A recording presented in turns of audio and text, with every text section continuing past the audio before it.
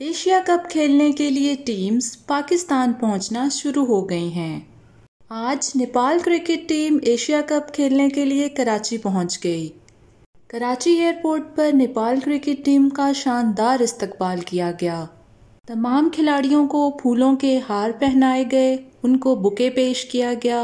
International cricket teams के लिए security के सख्त इंतज़ाम किए गए हैं। नेपाल क्रिकेट टीम को सख्त सिक्योरिटी हिसार में होटल पहुँचा दिया गया। नेपाल क्रिकेट टीम 24 अगस्त को अपना प्रैक्टिस मैच खेलेगी, जबकि 25 अगस्त को ट्रेनिंग सेशन होगा। एशिया कप का पहला मैच पाकिस्तान और नेपाल के दरमियान 30 अगस्त को खेला जाएगा। ये मैच पाकिस्तानी टाइम 2:30 पीएम पे स्टार्ट होगा। एशिया कप के मैचेस पाकिस्तान और श्रीलंका में खेले जाएँगे। 30 अगस्त से 6 सितंबर तक तमाम मैचेस पाकिस्तान में खेले जाएँगे।